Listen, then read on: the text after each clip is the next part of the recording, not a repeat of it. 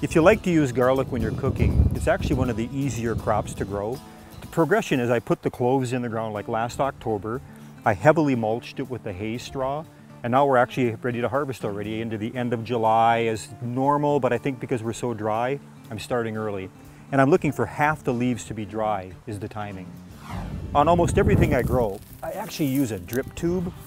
And this year I ran out, so I left one row to be completely dry. So I'm curious to see if this is going to be more advanced than the non-irrigated areas.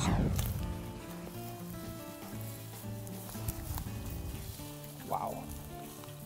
Now you'll want to avoid damaging the garlic because it probably will rot early. We're also going to leave the stems on and the roots on for about two weeks. We'll take clumps of garlic, probably seven in a group. We'll just hang them in the garage in a uh, very, very dry, out of sun location. If you want to wash the garlic, wait till after that two week curing period and you'll be able to maybe just flake off one of the outside sheaths and then you'll get that really bright white look. But this garlic's looking really good.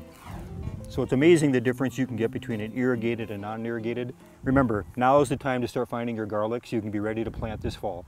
We'll see you again next time.